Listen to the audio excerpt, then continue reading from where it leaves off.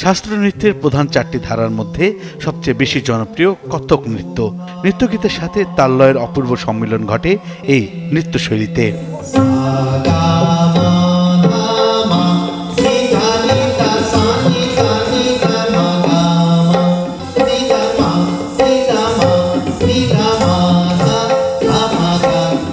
কত্থক নৃত্যের নান্দনিক সৌন্দর্যকে দেশের মানুষের কাছে তুলে ধরতে আয়োজন করা হয়েছে এই উৎসবের। এবারে বৈশিষ্ট্য যেমন আমরা প্রথমবারের মতো আমরা প্রথম দিনের অনুষ্ঠানটি পুরো লাইভ করছি হ্যাঁ?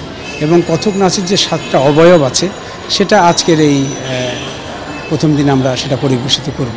এটি হলো প্রথম দিনের। আর দ্বিতীয় দিন থাকবে বিভিন্ন সময় জাতীয় পুরস্কার যারা পেয়েছে, তারা নাচবেন। আর শেষ দিন দেশের প্রথিত দশা যারা কথক নৃত্যশিল্পী, তারা কেউ সলো কেউ ডুয়েট কেউ গ্রুপ এইভাবে পরিবেশন করবেন। উৎসবে অংশ নেবে ঢাকার পাশাপাশি ঢাকার বাইরের বিভিন্ন জেলা থেকে আসা প্রায় শতাধিক নৃত্যশিল্পী।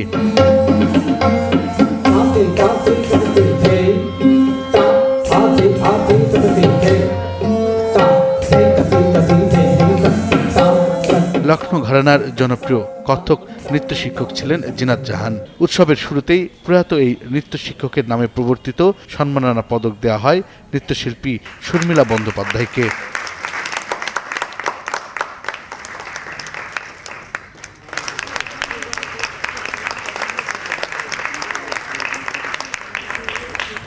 ছিলেন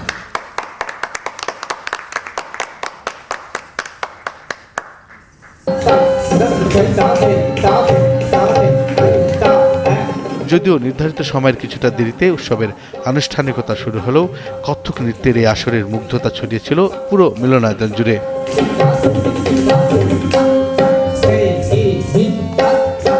বুলবুল আহমেদ জয়, একাত্তর, ঢাকা।